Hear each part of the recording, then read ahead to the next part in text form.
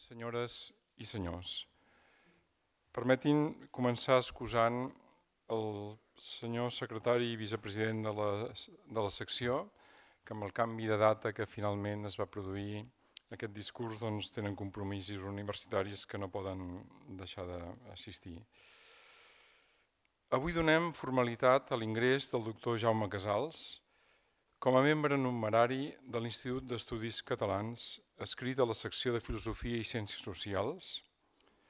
Seguint la tradició, ho farà llegint un discurs, el qual respondrà en nom de la secció el doctor Pere Lluís Font. El nostre institut fou fundat fa més d'un segle per Enric Prat de la Riba com a Acadèmia Nacional dins l'acció estatista que emprengué vinculada a l'obra de reconstrucció nacional, modernització i de regeneració social que significà el noucentisme.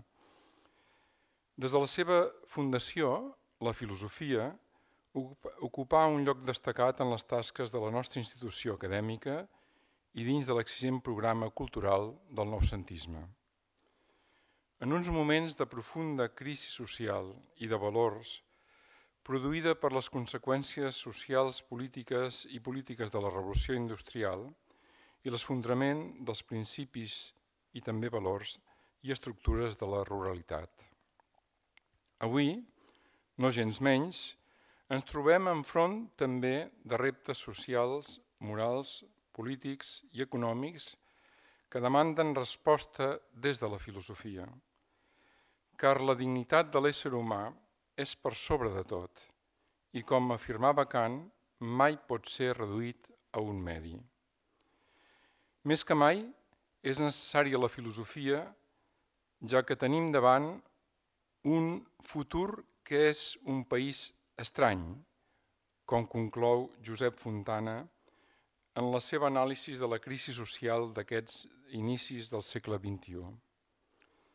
En la seva recent monografia d'aquest títol, ens adverteix que estem enfront d'una reculada de les llibertats democràtiques i que cal defensar-nos des de la creença il·lustrada i cal, perdó, desfer-nos de la creença il·lustrada i liberal de que la nostra civilització està guiada per la continuïtat del progrés.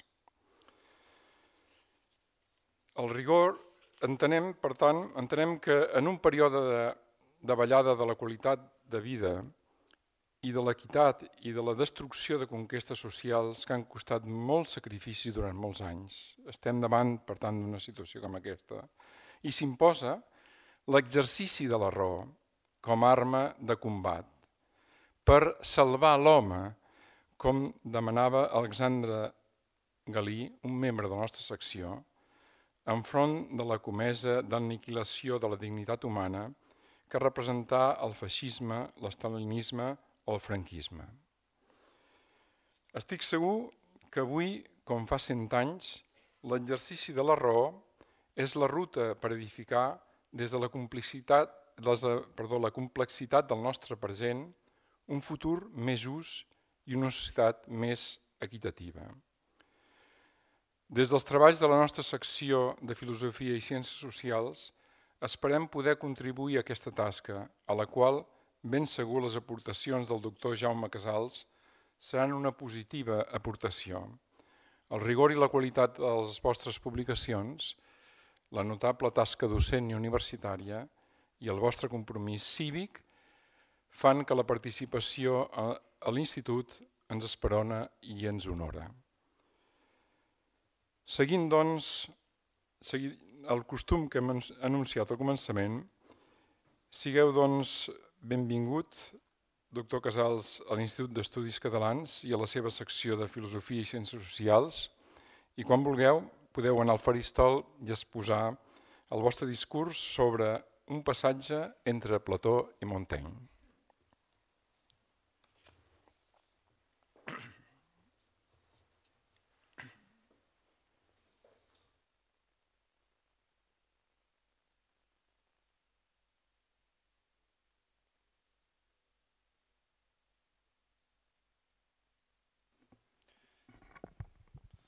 Just havia dit benvolgut president de la secció de Filosofia i Ciències Socials, Josep eh, González de Capito, benvolguda tresorera, Àngels Pasqual, estimat eh, Pere, eh, honorable senyor rector eh, eh, de la Universitat Pompeu Fabra, il·lustres autoritats, eh, amics i, i companys, moltíssimes gràcies per ser aquí.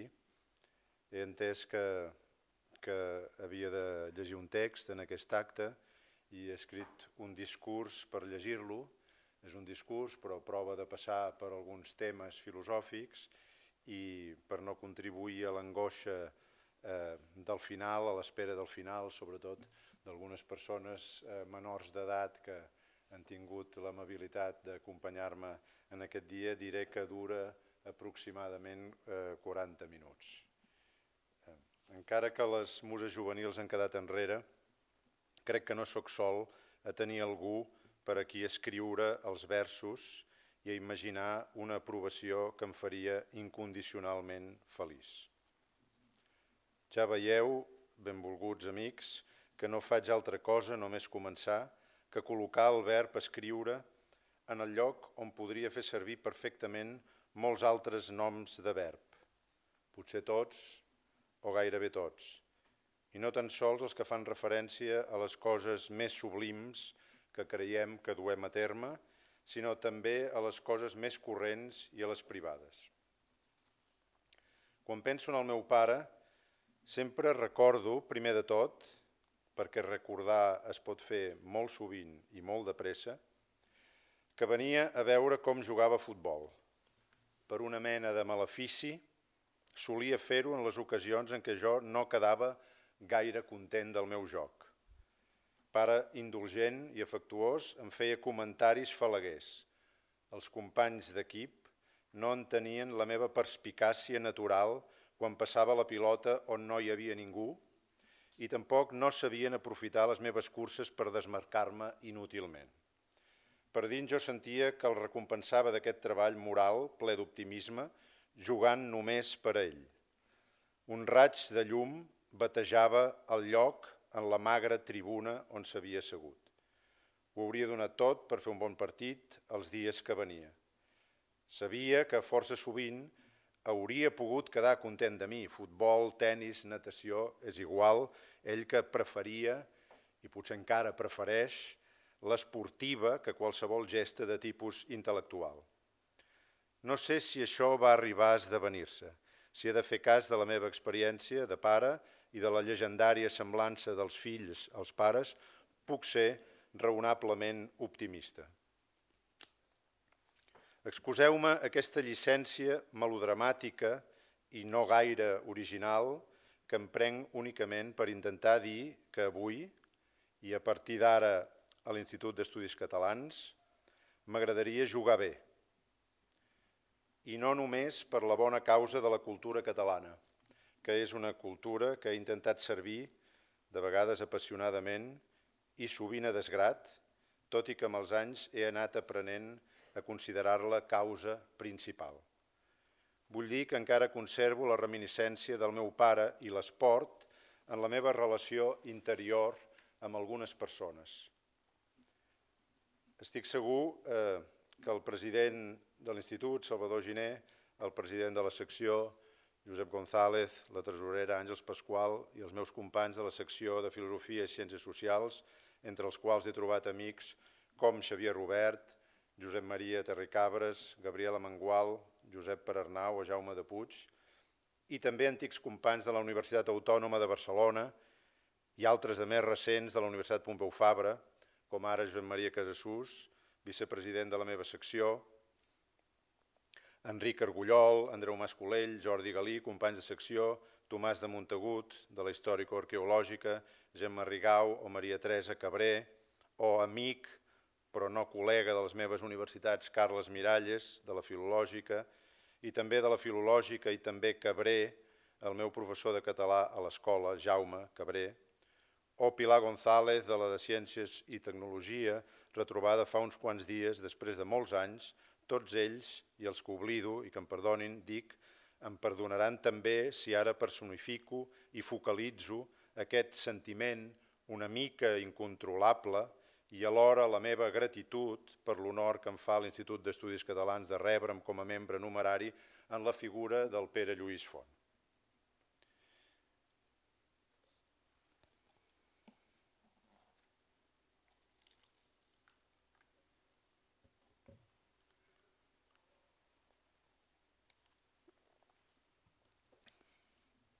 Ni als col·legues de l'institut ni a la resta dels presents no els costarà de posar-se al meu lloc. Avui, just quan el temps que gira, m'ofereix una d'aquestes rares ocasions en què una cascada quasi infinita d'imatges que volen presentar-se totes alhora en busquen i en troben una de sola que les condensa per poder reposar una estona. El Pere representa per mi un bon grapat de qualitats, algunes m'agradaria imitar-les i alhora em sembla que no m'escauen, algunes altres, poques, les tinc ben apreses, les millors són només seves, es poden ensenyar, però no es poden transferir. El cas és que sempre les he vistes com una proposta d'autoexamen, com una mena de eh, com una mena de mesura, com una manera de mesurar-me, per esmentar-me una de sola, la més acadèmica, diré, per algú que voldria tenir traça d'escriptor, com arriba a ser d'interessant l'administració de la paraula en el temps del parlar i en l'espai de l'escriure que té el meu vell professor d'Història de la Filosofia. Serenitat i ajustament general de les idees i contenció i propietat en l'elecció dels conceptes fan un tapís continu moderadament esquitxat per gestos d'humor d'una brevetat supersònica. Jo sóc un pesador de cartes, un jugador lent, aprenc l'estratègia però trigo a aplicar-la i necessito entrenament per no oblidar-la. De vegades tinc rampells, una mesura em cal, com deia ara. Els qui reconeixem la paraula del Pere potser no sabem aplicar-la, però sabem com s'hauria de fer. Je me suis bâti sur une colonne absente, declara en un vers famós Henri Michaud. L'absència de la columna és un fenomen, una contingència, jo em congratulo de la presència de la meva.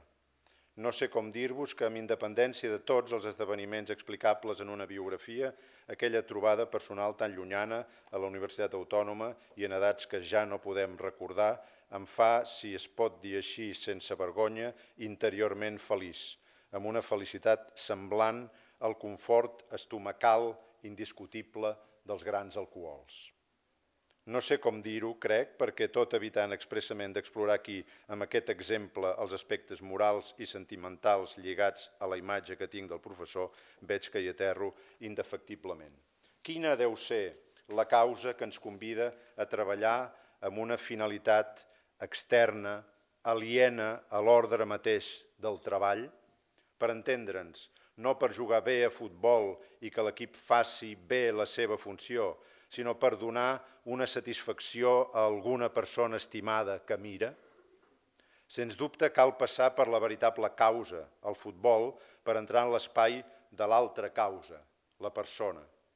Confesso que ara no em veig amb cor de contestar aquesta pregunta, però voldria retenir-la perquè quedi present, com si fos l'espàrrec del preàmbul que es va ficant en el forat del tema propi d'aquest discurs d'ingrés, un passatge entre Plató i Montaigne, alguna cosa que uneix temps i filòsofs molt diferents.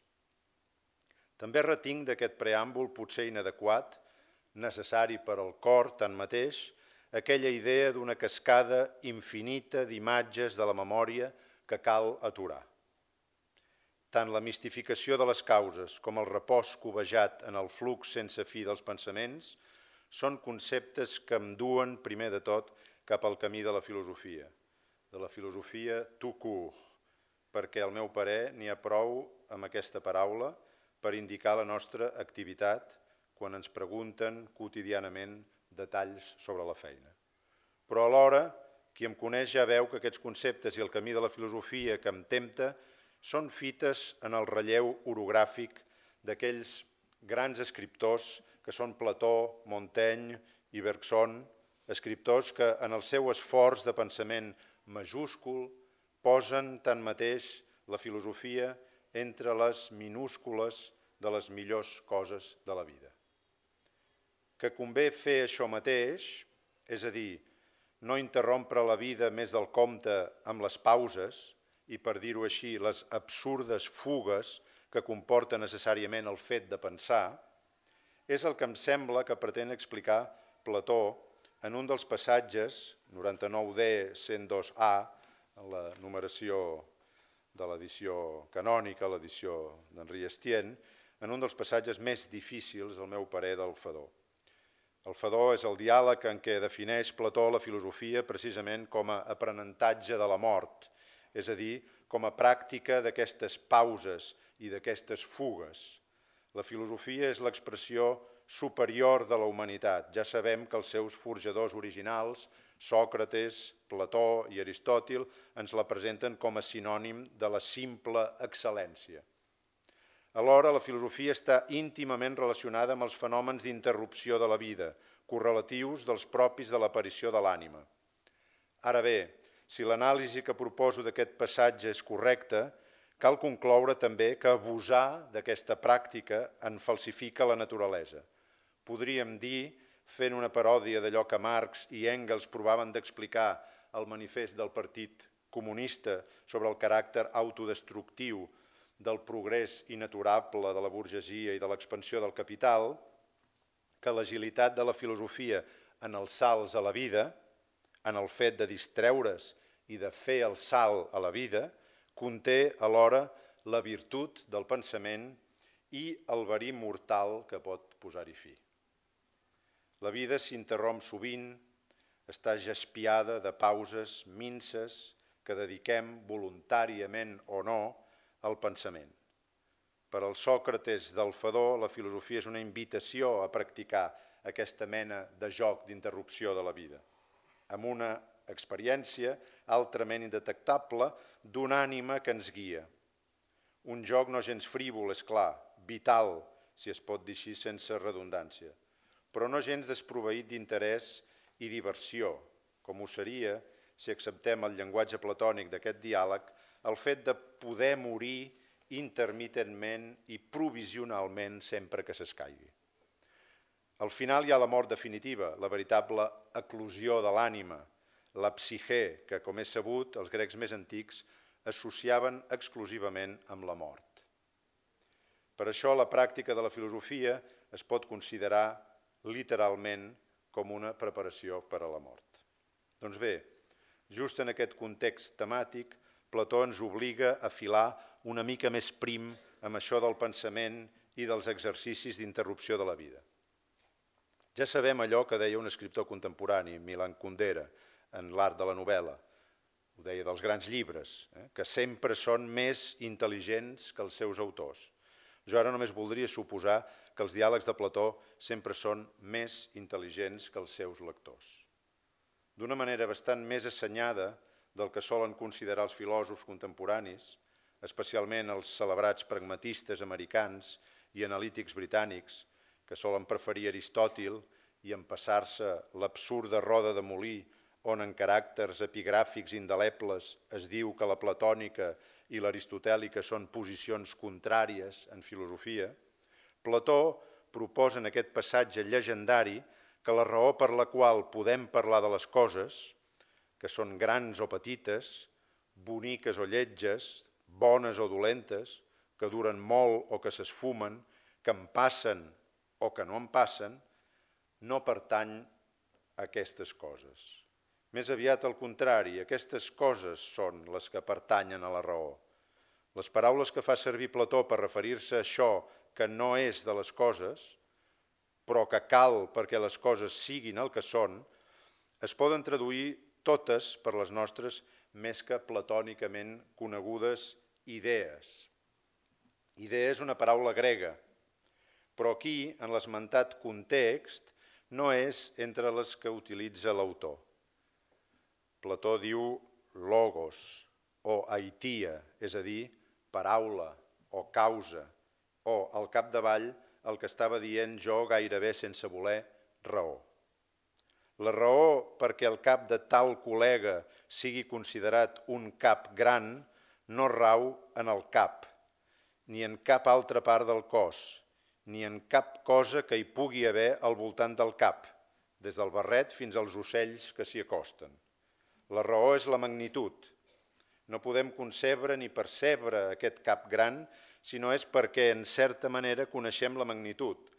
Estem fets per parlar de les coses en termes de magnitud. La magnitud no és cap cosa, és causa o raó, o, si fem cas del que no es pot estar de traduir fins i tot un gran helenista com Léon Robin, idea, en el nostre sentit modern d'idea, de les coses que participen de la magnitud. Fins aquí, això que provo d'explicar no és sinó platonisme elemental i no voldria entretenir-m'hi més. Sí que m'agradaria aturar-me, en canvi, en el que ara ja podem interpretar a partir d'una fórmula molt més abstracta, amb prou feines esbossada fa un moment. El mètode que recomana Sòcrates als seus interlocutors, Símies i Cebes principalment, no té tanta relació amb aquella participació de les coses en l'ordre de les raons com amb una prohibició que intentaré definir simplement d'aquesta manera. Queda prohibit, un cop s'ha identificat la raó, tornar a barrejar-la amb les coses.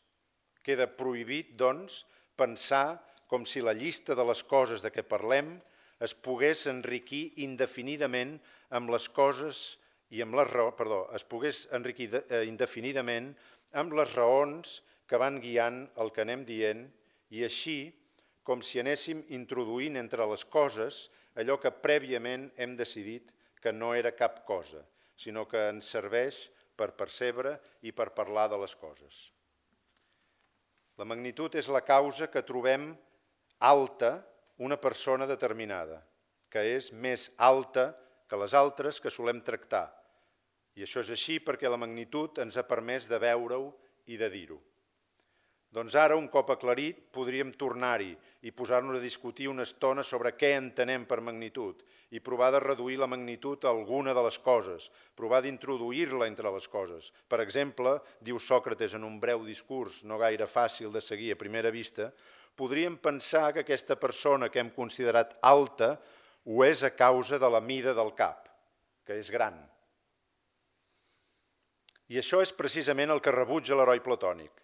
Si fos per la grandària del cap que aquesta persona és alta, com podríem entendre la raó, no ja ara de l'alçada de la persona, sinó de la grandària del cap? Diríem, aquest individu és alt perquè té un cap molt gran.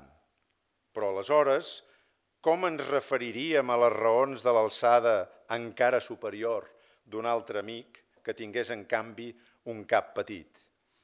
Diríem aquest és molt alt perquè té el cap petit?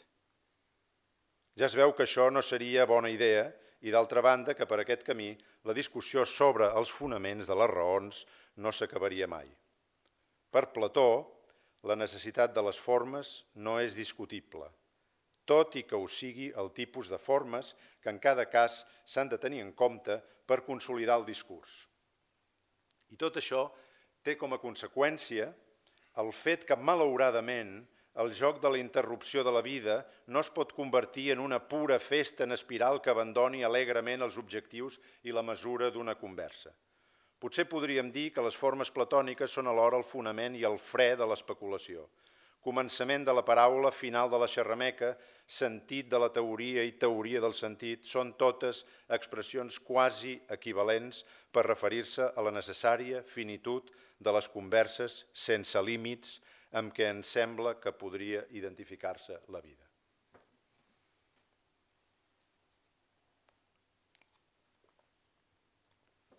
L'Aristòtil, llegendàriament antiplatònic, diu «Bellesa és una noia vella» just com si volgués fer la guitza aquest Plató que precisament per intentar ser pragmàtic sense renunciar a les raons respondria gran no pot ser el cap que és gran.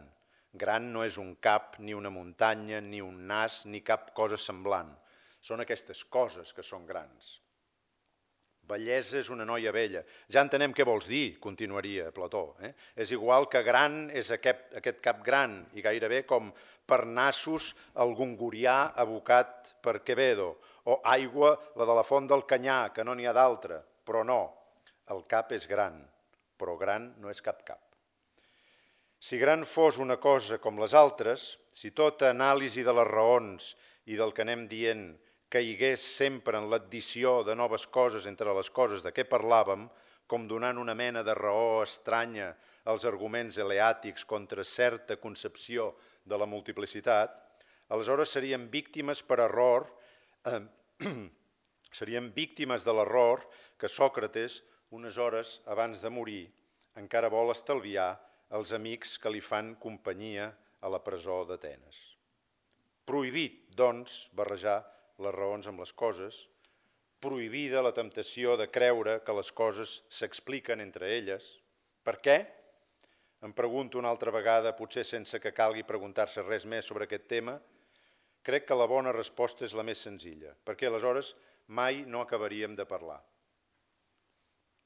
Acabar, el que es diu acabar de parlar, és una cosa del tot inversemblant en els diàlegs de Plató. Els diàlegs solen començar amb una conversa encetada, sempre s'està ja parlant. Com nosaltres a casa, que des de petits ten també tenim la conversa permanentment en marxa. Tampoc no es pot dir que els finals, els finals dels diàlegs, vull dir, tot i que voltes siguin precedits d'algun colofó triomfant formulat per Sòcrates o qualsevol altre dels herois que alguna vegada substitueixen Sòcrates, siguin finals rotuns, després dels quals, més enllà del text, s'imposi alguna mena de silenci definitiu. No pot tractar-se, doncs, d'un acabar de parlar en el sentit de callar, de renunciar, potser esperant alguna cosa més enllà de les paraules. Costaria de creure una motivació d'aquesta mena en l'autor d'una literatura tan impregnada d'aquesta vitalitat oral i naturable. I seria una llàstima privar-nos del concepte de l'amistat concebuda com una conversa infinita. Més aviat penso, doncs, a intentar evitar de parlar per parlar. Res de més contrari a parlar que parlar pel sol fet de parlar. No parlar infructuosament sense poder donar-se'n, sense avançar en res, sense que aquest parlar ofereixi alguna, suposem ara, provisionalíssima i contingentíssima veritat. Que parlar sigui alguna cosa més que pluja incessant sobre els mortals, recomanaria Sòcrates a Símies i a Cebes, certament amb mala cara, el morro fort. Però tornem a la pregunta amb més empenta. Estem d'acord en el fet que parlar serveix per fer ingressar coses en el conjunt de les coses. No és la millor definició, però podríem dir parlar també serveix per això. Aleshores, per què, si retornéssim les raons a la llista de les coses, no acabaríem mai de parlar? No avançaríem, no obtindríem ni tan sols les provisionalíssimes veritats. Dit d'una altra manera, per què la simple incorporació de les raons a les coses de què podríem parlar no fa cap servei del tipus esmentat. Per què no seria pròpiament parlar, sinó només parlar per parlar, aquest exercici de parlar sobre les raons i les raons de les raons, etc. Jo crec que la resposta torna a ser molt senzilla, perquè si parlàs ja des de sempre el que fem per ocupar-nos de les coses, fins i tot per fer servir i per reparar les coses que nosaltres mateixos hem fet s'ha de parlar, si la discussió és per naturalesa sobre les coses, cada acord, cada pas cap a alguna claredat es veuria immediatament condemnat a ser discutit de nou. Convé en aquest punt aclarir que és evident que tu i jo podem ara, en qualsevol moment, tractar sobre les raons que expliquen tal esdeveniment o tal tesi. És indiscutible que tu em pots dir que les meves raons o els meus arguments no et semblen correctes i em pots fer notar en què estic equivocat. La prohibició que atribueixo ara a Plató no té res a veure amb la discutibilitat de tota argumentació, sinó amb el següent procediment. Un cop estem d'acord sobre alguna cosa, això vol dir que hem parlat i hem identificat una raó per a la cosa, per exemple, la magnitud, per dir que una persona és més alta que una altra, no és pertinent que discutim ara sobre si estem veritablement d'acord, sobre la raó de la raó d'estar d'acord. Això, concretament això, seria un contrasentit. Com que estem d'acord, mirem ara, malgrat tot, per què no estem d'acord. No és que no hàgim de ser crítics i dedicar-nos a examinar el sentit de les nostres, dels nostres fonaments.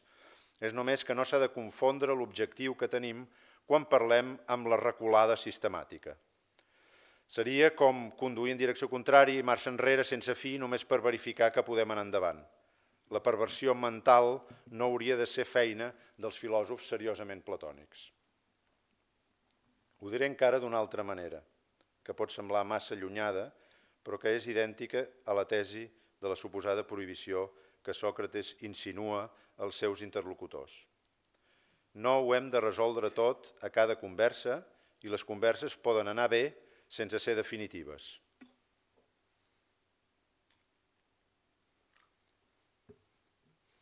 Podem fins i tot posar-nos d'acord sobre alguna cosa que més tard serà la base d'una discrepància. I ho podem fer sense sentir-nos en fals. Si volem deixar-ho tot resolt ara, caurem en el parlar de les perilloses investigacions aleàtiques. Això ho dic des de la mentalitat platònica, com tot el que vinc dient, crec jo, vaja, des de la meva interpretació. Cauríem, per tant, en el parlar perquè sí, que no és parlar veritablement. Cauríem en el legein, logo, harin, segons l'expressió aristotèlica del llibre Gamma de la metafísica. Entendre's en alguna cosa, trobar una raó, és una victòria en el temps que no s'ha de deixar córrer ni s'ha d'espatllar. Al capdavall no hi ha millor fonament per la conversa que un acord provisional.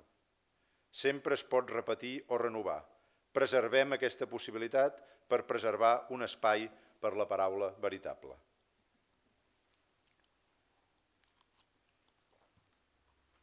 Queda clar que això no sona gaire a la metafísica platònica convencional, que ens fa pensar més aviat en el caràcter definitiu i transcendent de les raons i els acords i que per consegüent no té sentit en l'espai de cap mena de pragmatisme.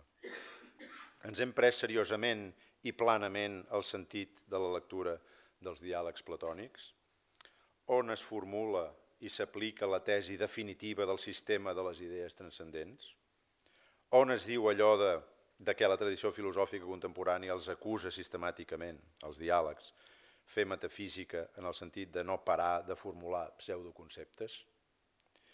I és que formulat així, deveu pensar que potser massa facilitats especulatives, això que presento com un contrasentit en Plató, la metafísica de la discussió infinita sobre les raons, s'assembla molt a la tesi central de l'obra literària d'un escèptic modern, lectura meva preferida i quasi adorada, que mostra amb una singularitat inimitable l'obligació de pensar en una paraula que cavalca en el desordre i que s'hi capbussa, buscant aquell acord sense fonament, acord màgic del parlar i de l'art de conversar, defugint per naturalesa la certesa i el repòs. Estic referint-me als assaigs de Montaigne, Montaigne no em sembla pas un escèptic, per bé que, igual que Plató ha de passar per dogmàtic, passa per cerna en els textos que acompanyen d'una manera més consolidada les impressions culturals sobre el passat que ens ha dut on som. No val la pena perdre el temps lluitant contra els tòpics, si de cas, intentar redimir-los. Però Montaigne no para de conduir el lector a l'antre en què pot dir-li de molt a prop malfia't de tot el que et sembli veritat. I alhora, malfia't de tot pensament que comenci amb un sembla però no és. Quin pot ser l'espai intersticial que s'obre entre la malfiança respecte a les veritats massa assumides i la malfiança respecte a una veritat sempre amagada? Caldria començar a llegir els assaigs i quedar-s'hi per poder contestar i sortir-ne.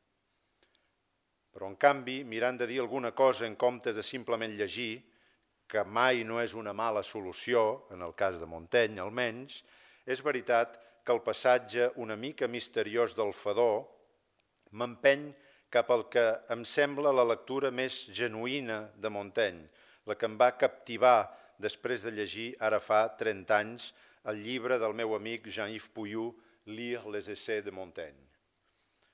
Saber suportar el desordre de la paraula i sobreviure en el desordre de la paraula és, al meu parer, equivalent no a les fixacions i a l'enduriment congènit d'un parlar absurd sense referència veritable, sinó a l'establiment de certes quotes de prudència i de claredat. La dificultat i la veritable excel·lència dels clàssics solen trobar-se en la noció de mesura. L'escepticisme de Montaigne i la desmesura fonamentadora de Plató són també equivalents, però són perspectives de lectura predeterminades i per això mateix lectures falses. Et quand serai-je à bout de représenter une continuelle agitation et mutation de mes pensées en quelque matière qu'elle tombe, puisque Diomède remplit six mille livres du seul sujet de la grammaire Que doit produire le Babil, puisque les bégaiements et les dénouements de la langue étouffa le monde d'une si horrible charge de volume? Tant de paroles pour les paroles seules, Ô Pitàgores, que ne conjuras-tu cette tempête? M'excuso per, tra per traduir per si eh, serveix una mica serveix passar per damunt d'aquest text singular. No? I quan acabaré jo de representar una agitació i una mutació contínues dels meus pensaments, caiguin en la matèria que caiguin, si Diomedes va omplir 6.000 llibres només amb el tema de la gramàtica, què ha de produir el Babel si l'embarbussament i el desembarbussament de la llengua va ofegar el món amb una càrrega tan horrible de volums, tantes paraules per les paraules soles? Oh, Pitàgores, que no conjuraràs aquesta tempesta? Els assaigs de Montaigne obren la porta de l'antiguitat a la modernitat. Ens l'obren a nosaltres, que som moderns, i deixen que el misteri antic i les dosis d'intel·ligibilitat necessàries per assaborir-lo facin el seu joc. No sé si jo he passat per aquesta porta, però alguna mena de llindar he travessat durant la vida acadèmica que he anat entretenint i que m'ha dut, no sé si dels grecs a la filosofia contemporània o de la filosofia contemporània als grecs. La deriva m'ha arrossegat durant els darrers anys a concentrar-me en el cor alegre d'aquesta idea platònica terrible que associa la filosofia a l'aprenentatge de la mort. Un dels llocs insòlids de la literatura montaniana en què l'element platònic es posa de manifest amb més originalitat, el trobo en un dels pocs textos que s'escapen de la tonalitat literàriament esportiva dels assaigs. Em refereixo a una carta en què Montaigne, encara no autor, explica al seu pare la mort d'Etienne de la Boissy, l'amic de llegenda del nostre Michel Eiquem, senyor de Montaigne. Montaigne mateix va publicar-la, aquesta carta, el 1570 en la seva edició d'Œuvre de la Boissy, la vella edició de la Biblioteca de la Pleiat, a càrrec d'Albert Thibaudet i Maurice Ra, en recull un fragment bastant extens. En el moment decisiu, la Boissy moribund i delirant demana a Michel que, literalment, li faci un lloc al seu costat. I Michel li acaba fent els assaigs. Qui ne voit que j'ai pris une route par laquelle, sans cesse et sans travail, j'irai autant qu'il y aura d'encre et de papier au monde? Qui no veu que he triat un camí pel qual, sense parar i sense treball, continuaré mentre hi hagi tinta i paper al món? Montaigne no hauria imaginat un llibre infinit si no hagués perdut prematurament el seu Lavoisi, símbol, com deia abans a propòsit del passatge platònic, de l'amistat concebuda com a conversa sense fi. Com que el tòpic de l'escepticisme de Montaigne ja no ens fa nosa, diré ara que l'extraordinari optimisme que es reflecteix en l'aposta de Montaigne per l'amistat i la paraula seria impossible d'imaginar sense Plató. Més ben dit, seria impossible d'imaginar sense posar a l'hora de manifest el sentit de la idea seca i fina que el Sòcrates del Fadó exposa en aquell passatge. No em refereixo ara a la qüestió ja clàssica sobre la influència de l'obra platònica en l'autor dels assaigs, dels assaigs. Aquest és un tema ple d'interès, estudiat pels erudits de finals del segle XX, que no van aconseguir una gran unanimitat en cap punt primordial en el seu entorn acadèmic, fora de l'evidència del pes progressiu de la lectura de Plató i de la figura socràtica en les capes redaccionals del llibre al llarg dels 20 anys de composició que hi va dedicar Montaigne abans de morir. Sens dubte, podria associar ara fàcilment aquest fenomen a la meva causa, però no hi posaré cap èmfasi perquè el que voldria expressar és només l'íntima convicció de la necessitat de la idea platònica exposada en el passatge del Fadó per adoptar el sentiment d'optimisme literari de Montaigne. El parlar infinit de l'amistat i la pintura del jo dels assaigs no només no és contrari a la prescripció socràtica, sinó que fa el niu en el fet de callar i de no discutir més enllà de l'adquisició de sentit que és propi de l'idealisme platònic. Així doncs, acceptem que no cal recórrer a la influència directa dels diàlegs en l'elaboració del llibre de Montaigne per buscar alguna identitat entre el Sòcrates del Fadó quan censura l'ambició inacabable, purament discutidora dels interlocutors i l'optimisme literari infinitista, diguem-ho així, dels també inacabables assaigs.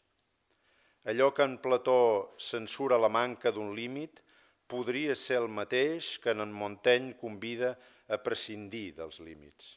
En Plató fixem l'objecte de la conversa i no ens entretenim amb discussions inútils i bifurcacions innecessàries.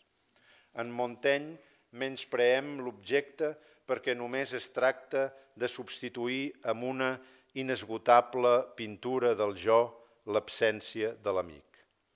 La coincidència dels contraris rau en el fet que tant en un cas com en l'altre es tracta de no fer malbé la paraula. Tots dos són optimistes i basen aquest optimisme en una regla. Al parlar de Plató li escau una regla de limitació per ser un parlar veritable. El de Montaigne li escau una supressió de, una supressió de límits.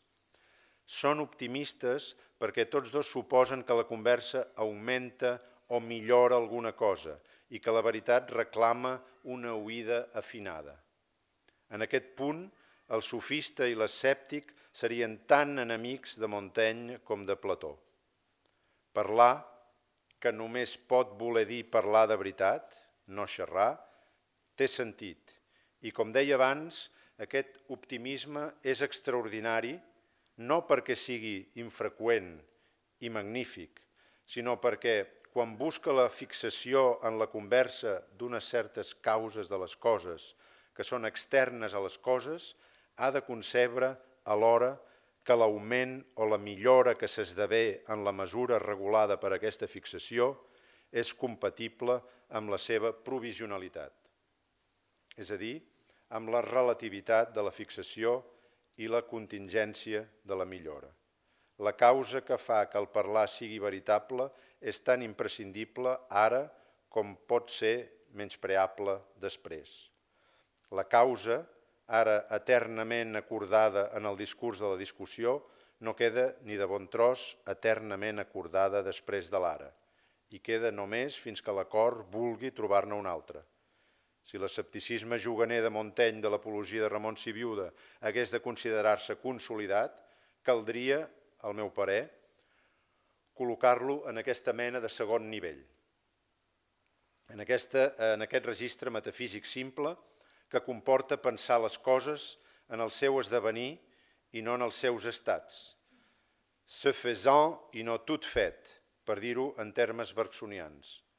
Pretendre que Montaigne va sostenir que parlar és una pura estratègia de combat o una pèrdua de temps que no duen lloc ni conté cap veritat, és tan absurd com creure que Plató volia establir per sempre més la veritat de les coses per als seus seguidors.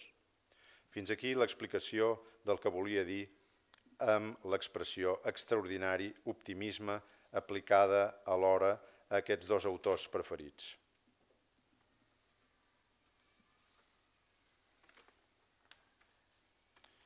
Tinc aquí una cosa per la qual no havia previst una, cap determinada escenografia, però que per no, eh, introduir, per no fer una interrupció absurda ara que ja estic pràcticament acabant, quan només queden unes ratlles us ho posaré aquí sense que pretengui que es vegi gran cosa.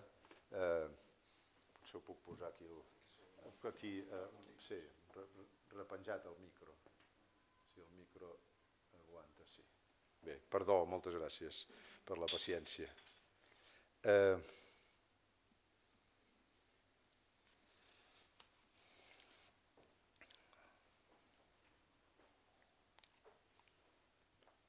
Potser la dificultat i la necessitat de fer compatibles en el punt en què la lògica i les coses topen entre si, el moviment perenne i un cert repòs interminent, intermitent en els esglaons del progrés extraordinari del parlar que s'infereix de la fe de Plató i de Montaigne en la conversa, em podrien conduir ara a explicar-me millor, a provar d'exposar aquí les raons més senzilles del meu interès i, deixeu-m'ho dir així, la comoditat que sempre he sentit en la lectura d'Henri Bergson. Un gran pensador, una mica bandejat de la filosofia contemporània per la ignorància o per motius més espuris dels qui des d'abans d'ahir fins avui n'estan escrivint la història. Arribaríem així, si els recursos no em fallessin, a embolicar tot el que he estat dient fins ara en una fórmula com aquesta – contra tots els tòpics sobre la matèria, la filosofia i la metafísica són les coses més simples i naturals del món i, a més a més, les més necessàries per la supervivència mental. És ben sabut que allò que tenim més a la vora i davant dels ulls és el que ens costa més de veure i d'arrencar del seu increïble amagatall. Tenim una set inconscient i bestial de Plató, de Montaigne i de Bergson. De vegades penso que aquesta set es dobla cada dia i també penso que aquesta set, quan em sembla que la sento, s'acosta molt a la set d'algunes institucions difuminades o potser ja esborrades per idees balaitoses de riquesa i llibertat que s'imposen també amb la mateixa progressió geomètrica. Però ni parlaré de Bergson ni m'enfangaré més pel camí del ruc recalcitrant que he tingut per uns moments la tentació, eh, la temptació d'encetar. I no m'imagino res de millor per sortir-ne i per acabar aquest exercici d'alegria és sen, sens dubte el que sento pel fet d'haver estat cridat a incorporar-me a l'institut, que una ja molt breu evocació de l'amistat, la meva ara i no la de Montaigne o la Boissy. Ja m'he excusat abans pel meu atreviment, Deixeu-me aprofitar amb un últim accés sentimental aquest dia. Fins ara he tingut uns quants amics. Els dos de l'adolescència estan perduts, un a Andalusia i l'altre a Washington. Quan tornin, o si jo hi vaig, potser no ens podrem dir res, però tornarem a ser tan amics com sempre, encara que només quedi un fil de sentiment. Un gran amic que vaig conèixer ja de gran s'ha aturat a mig, al mig d'un camí que jo ja no faig entre París i Béarn i n'hi ha un encara més lluny, que no s'hauria d'haver mort. Me'n queden d'altres, tan bons com aquests, els companys del seminari de Deleuze, un gran periodista, filòsof, un rector d'universitat, un degà, un professor jubilat de pensament antic, un professor jubilat d'història de la ciència, una executiva de luxe, un professor de literatura i agent literari, un ciclista, un gerent exdirector general. Tinc sobretot també a tall d'amics la meva família preciosíssima. En amics m'ha acompanyat la sort, però avui voldria, crec que amb raons de molt pes, citar-ne només dos. Són dos amics que sempre ho han estat, que han estat els mateixos sempre, sempre iguals i com infal·libles. El primer és Jesús Hernández, que és un acadèmic com jo, però amb una vena filosòfica de més cabal, Ara ja no sé comentar un text de la filosofia clàssica sense imaginar-me que el llegim junts i per consegüent no he fet altra cosa que pensar en ell durant les estones que he dedicat a redactar el meu comentari sobre el passatge del Fadó que vol ser el moll de l'os d'aquest discurs i és a ell a qui el dedico. El segon és un pintor hongarès que viu entre París i Gignac des de l'any 1954 un pintor d'arbres i de bodegons. L'institut és el temple de la paraula i no deu ser gaire apropiat d'interrompre-la amb aquestes imatges males reproduccions d'uns quadres d'Alexandre Hollande que he preparat per col·locar avui aquí, deia jo en el meu text, on vaig deixant els meus papers, però efectivament no he deixat els meus papers a la taula del cantó, sinó al faristol que tenia aquí al davant. No? no són, però, imatges per mirar i callar com els originals que representen, sinó un senyal, un fetitxe que vull que m'acompanyi, que ens acompanyi en aquest moment final. Hollande és un pintor d'arbres i natures mortes. Ell prefereix anomenar-les vides silencioses. Com acabo de dir, és un pintor d'arbres i natures mortes, però no és un pintor de gènere, és un artista integral.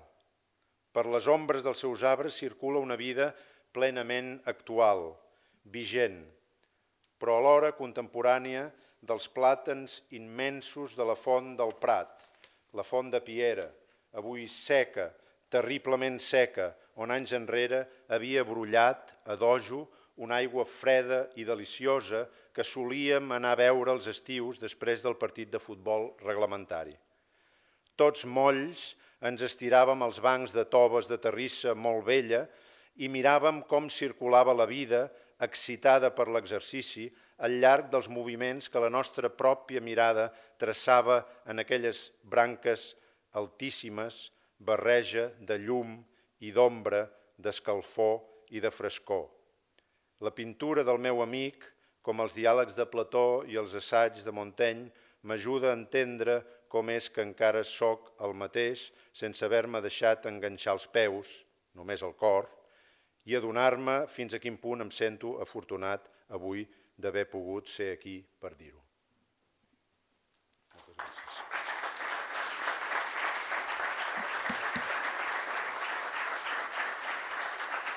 retirarem la, retirarem l'obstacle. Gràcies. Gràcies per haver vingut en un dia tan, en, en un dia tan dolent, un dia inclement. No? Moltes gràcies per ser aquí. Moltíssimes gràcies a vostè, doctor Casals. I ara, en nom de la secció, el respondrà el discurs el, el doctor Pere Lluís Font.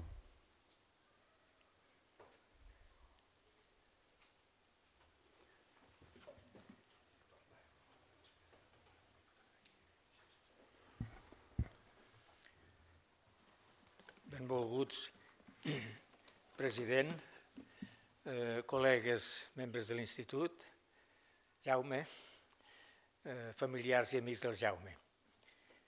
És per a mi un honor i un plaer respondre en nom de la secció de Filosofia i Ciències Socials al discurs de recepció de Jaume Casals com a membre numerari de l'Institut d'Estudis Catalans, com va ser-ho en el seu moment presentar la seva candidatura.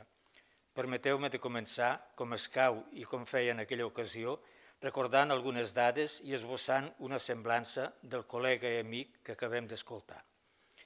Jaume Casals i Pons va néixer a Barcelona el 15 de gener de 1958. Es va llicenciar en Filosofia a la Universitat Autònoma de Barcelona el 1980 i s'hi va doctorar el 1984 amb una tesi sobre la filosofia de Montaigne que li va valer el Premi Extraordinari de Doctorat i de la qual tornaré a parlar. Entre els seus professors sempre ha reconegut especialment el mestratge de Josep Maria Calsamilla. Després no podré evitar de referir-me a les paraules que tan gentilment com hiperbòlicament acaba de dedicar a un altre dels seus professors, el qui ara us parla. Aquestes circumstàncies em permeten de dir, amb expressió casolana, però amb una, amb una punta d'orgull, aprofitant la referència futbolística del començament del seu discurs, que el Jaume és del planter, bé que, com no podia ser altrament, amb progressives influències acadèmiques foranes, sobretot franceses i anglosaxones. La seva carrera docent, que comença el 1980, s'ha desenvolupat primer a la mateixa Universitat Autònoma de Barcelona, on va ser professor titular des del 1986, sobretot en el camp de la història de la filosofia, però també en altres matèries com ara la lògica, i després a la Universitat Pompeu Fabra com a professor titular des de 1996 i com a catedràtic d'Història de les Idees des del 2003. També ha estat membre del Col·legi de Filosofia de Barcelona, 1980-90, i professor invitat a la Universitat eh, París 7, Denis Diderot, 1996. Ha tingut igualment importants responsabilitats de gestió. A la Universitat Autònoma de Barcelona ha estat director del Departament de Filosofia, 1990-92, i a la Universitat Pompeu Fabra, vicedegà, 1997-2000, i degà, 2000-2001, de la Facultat d'Humanitats, vicerrector de postgrau i doctorat, 2001-2005, i vicerrector de professorat 2005-2009, període en el qual va ser també president del Consorci de Biblioteques Universitàries de Catalunya i des del 2010 president del Consell d'Estudis i vicepresident executiu de l'Institut d'Educació Contínua, IDEC. Paral·lelament, des del 1994 és director de l'Institut d'Humanitats de Barcelona. Així mateix, ha estat avaluador d'agències com ara l'Agència de Gestió d'Ajuts Universitaris i de Recerca, AGAUR, o Iberbasque, y membre del Comité de Humanitats de la Agencia Nacional de Evaluación de la Qualitat i de l'Acreditació, ANECA. També a França ha estat membre de comissions d'habilitació per a la Direcció de Treballs de Recerca i ha actuat com a informador, com a membre del comitè de selecció i com a editor en editorials de prestigi com ara Honoré Champion de París o Edició Slatkin de Ginebra. És autor d'una considerable producció filosòfica que comprèn llibres, articles, capítols d'obres col·lectives i traduccions, a part de col·laboracions culturals a la premsa, molt majoritàriament en català, sovint en francès i ocasionalment en castellà o en anglès, que cobreixen un amplíssim ventall de la història de les idees. Els seus interessos filosòfics s'han anat eixamplant a partir de l'estudi de Montaigne, al qual ja he dit que va dedicar la seva tesi doctoral, un autor que representa la quinta essència de l'humanisme renaixentista i que ell reivindica com un pensador de primer ordre que, en la seva estratègica posició històrica, fa de frontissa entre dues èpoques, entre el pensament antic i medieval d'un costat i el pensament modern de l'altre. En efecte, l'obra de Montaigne és la decantació de tota la filosofia clàssica, però és alhora l'antesala de la moderna, ja que els essais que respiren grecitat i llatinitat pels descosits, van ser llibre de capçalera de Descartes i de Pascal, que Berson, un altre dels filòsofs estudiats per Casals, assenyalarà com els dos grans iniciadors de la segona navegació filosòfica, la moderna, per utilitzar la metàfora a què recorre Plató al començament del passatge del Fedó que se'ns ha comentat. Ara bé, des de Montaigne, Casals emprèn el viatge aigües amunt fins a Plató i els filòsofs preplatònics, amb escala perllongada en Aristòtil, i aigües avall fins a la fenomenologia, l'hermenèutica o Walter Benjamin, emparades, per exemple, en Leibniz, Berkeley, Kant o Bergson. I tot això amb especial atenció a la gènesi grega de la racionalitat moderna i a la genealogia de l'humanisme contemporani. No conec ningú, ni aquí ni a fora, que hagi tret de Montaigne tant de partit a l'hora de treballar tota la història occidental de les idees i costaria de trobar ningú que hagi fet més que ell per presentar eficaçment Montaigne com un maître pensée. És natural que Jaume Casals sigui un membre destacat de la Societat Internacional des Amis de Montaigne. Deixeu-me resumir el meu pensament sobre la relació entre Casals i Montaigne recordant una confidència que conta Maurice Blondel en un dels articles que va consagrar al seu amic Victor del Bosch, el mestre de l'Escola Francesa d'Historiadors de la Filosofia. Blondel reporta que del Bosch, poc abans de morir, li va confessar «Li dec molt a Spinoza». I continua «Podríem capgirar la fórmula i afegir Spinoza li deu molt a del Bosch». És fàcil de substituir els noms de del Bosch i de Spinoza pels de Casals i Montaigne. No cal pas que Casals ens confessi ara que li deu molt a Montaigne, es veu prou i ho ha dit moltes vegades i de moltes maneres. Però nosaltres també podríem afegir, amb justícia, Montaigne li deu molt a Casals, sobretot al nostre país, però no solament al nostre país. En tot cas, sense ell, Montaigne no seria per a molts de nosaltres el que és, i els seus noms quedaran units en la nostra memòria. Encara vull afegir-hi que Montaigne a més de ser un maître pensé, és considerat per molts, crec que amb raó, el més gran escriptor de llengua francesa, aviat està dit, i que Jaume Casals és molt sensible a la qualitat expressiva i a la relació entre filosofia i literatura, cosa que el mostra com un autèntic home de letre.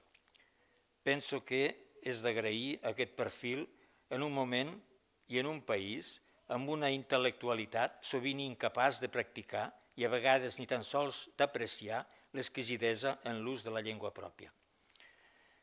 Dels seus llibres en voldria enumerar, només enumerar quatre, de títol prou significatiu. La filosofia de Montaigne, 1986, L'experiment d'Aristòtil, literatura d'una incursió en la metafísica, 1992, El pou de la paraula, una història de la saviesa grega, 1996, i El de la muerte en la història de les idees, publicat a Xile el 2010. Ha fet també interessants introduccions i anotacions a obres de Berkeley, de Voltaire i de Bergson, i el recull d'assaig i conferències del seu mestre Calsamilla, mestre seu i de tants altres, i acurades traduccions d'obres de, Monte, de Montesquieu, cartes perses, del seu estimat Montaigne, Apologia de Ramon Sibiuda i Diario de viatge a Itàlia, i de Bergson, assaig sobre les dades immediates de la consciència, seguit de la intuïció filosòfica.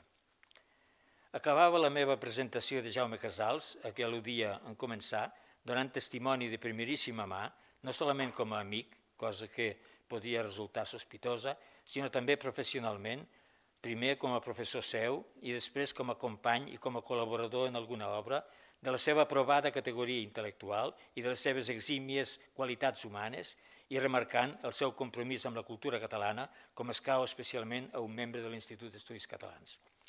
Tot el que he dit del nostre recipientari queda confirmat i perfectament il·lustrat pel bellíssim discurs amb què ens acaba d'obsequiar. Un discurs que, emparat en el patronatge de Plató i de Montaigne, sense oblidar Bergson, és un cant a la filosofia i a l'amistat. I és sobretot en tant que m'involucra en aquest cant a l'amistat que em sento privilegiat i alhora confús pel preciós regal que m'hi fa a les primeres pàgines. El fet que jo passi ara ràpidament sobre aquest punt no voldria de cap manera que per no semblar vanitós, em fes semblar insensible o desagraït. Si més no perquè, ja se sap, l'edat ens torna sentimentals. Tant de bo tingués jo alguna cosa, per petita que fos, que, prou amplificada, hagués pogut almenys servir de pretext per a aquest retrat tan afavoridor. Estimat Jaume, moltes gràcies per la teva finesa, però és per a tu que es fa la festa avui. La meva satisfacció més gran és haver confirmat el que ja es veia, que l'alumne seria millor que el professor. I ara un mot sobre el cos del discurs. Transitar entre el diví Plató, com es deia en altres temps, i l'humaníssim Montaigne, que podríem dir nosaltres, només pot ser un exercici saludable. Així com el millor que li pot passar a un platònic és sorprendre's montagnejant, el millor que li pot passar a un montanià si és que això existeix, perquè Montaigne té la gràcia de captivar i d'ensinistrar sense fer deixebles, i que em perdoni el bon Pierre Charron, eh, aquest escolàstic de Montaigne, quin, quin contrasentit. Eh? El millor, dic, que li pot passar a un montanià és que es retrobi platonejant. De fet, el camí entre Plató i Montaigne és més planer del que podria semblar si féssim cas dels tòpics perquè parlant en propietat, ja ens ho ha dit Jaume Casals, ni Plató és un dogmàtic, ni Montaigne és un escèptic. No pot ser un dogmàtic l'autor d'uns diàlegs en què els diversos personatges, altres tantes parts del mateix Plató, no fan sinó expressar els seus diversos pensaments, més o menys contraposats, sense que sovint n'hi hagi cap que s'imposi. Ni pot ser un escèptic, un autor que fa un ús crític de la raó, com a permanent mesura cautelar per anar per la vida. Plató i Montaigne són els creadors de dos gèneres literaris, el diàleg i l'assaig, que són antidogmàtics per excel·lència. Però això no els impedeix pas, ni a l'un ni a l'altre, de tenir conviccions fermes i, per tant, de ser, cadascun a la seva manera, antiescèptics. Relacionar, doncs, molt estretament aquests dos models de filòsof no és pas jugar a la paradoxa, i practicar la filosofia com a diàleg o com a assaig ens pot proporcionar, com diu Jaume Casals, unes certes quotes de prudència i claredat. És una sort poder ser considerats invitats, poder-nos considerar invitats a incorporar-nos a aquest inacabable diàleg platònic que és tota la història de la filosofia i exercitar amb Montaigne l'inacabable assaig de la vida lúcida i raonable. Alguna vegada he dit que quan la filosofia ja no sembla ser el que era, sempre ens quedarà Plató. També hauria pogut dir sempre ens quedarà Montaigne. Sempre ens quedaran Plató i Montaigne, dos pensadors que aposten per l'amistat com a conversa sense fi. Una remarca entre parèntesi sobre eh, Plató i Aristòtil. Té raó Jaume Casals de seguir aquí els neoplatònics no jugant a la contraposició estèril. No podia, ser, no podia fer altrament un admirador de Plató que ha escrit també un llibre sobre Aristòtil. Les idees platòniques són un dels descobriments més sensacionals de la història del pensament, però Aristòtil, el deixeble gegant i original, hauria pogut dir, sens dubte, del seu mestre allò que deia Malbranche de Descartes, que devia al seu mestratge la possibilitat de no pensar com ell. Jaume Casals, que és un gourmet de la filosofia, acaba convocant també Bergson, un altre gran filòsof i gran escriptor, una mica bandejat, constata, de la filosofia contemporània. Però això no és pas un defecte de Bergson, sinó de la filosofia contemporània. Bergson és, un, és el filòsof més pulcre del segle XX i recorro aquest qualificatiu modest com a un plus per a qui alguns consideraríem simplement el primer. Un filòsof, a més, que es pot estimar sense que calgui assumir totes les seves posicions. Plató, Montaigne i Bergson, una triple devoció que m'alegra de compartir amb Jaume Casals. Té raó Carl Jaspers quan diu que els filòsofs, que són també bons escriptors, històricament haurien de tenir premi. I si són grans, com a filòsofs i com a escriptors, fan la funció de metre de platí per a mesurar tots els membres del ram. He dit que el discurs de Jaume Casals és un cant a la filosofia i a l'amistat. Un cant a la filosofia, l'expressió superior de la humanitat, com diu ell, i la cosa més necessària per a la supervivència mental. Husserl la considerava la forma espiritual de la cultura europea. I un cant a l'amistat, en aquest cas no a la quasi mítica entre Montaigne i la Boétie, sinó la seva o les seves, que enumera al final del discurs, on ens deixa entreveure alguna cosa de la rebotiga de l'ànima. Per la meva part, recullo gustosament la menció del també amic i company Jesús Hernández i la del, per a mi desconegut amic de l'amic, Alexandre Hollande, el pintor de vides silencioses. Moltes gràcies, Jaume, pel teu saborós discurs. Et felicitem i ens felicitem perquè l'Institut d'Estudis Catalans s'honora de comptar-te entre els seus membres, que per molts anys puguis marcar molts punts en aquesta nova lliga en la qual has acceptat de jugar. Moltes gràcies.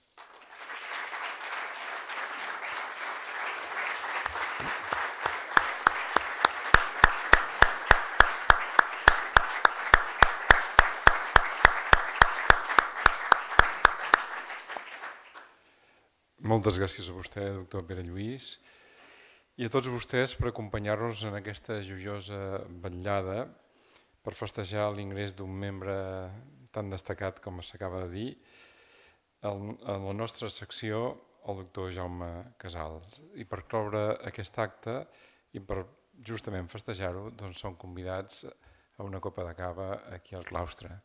Moltes gràcies i fins una altra.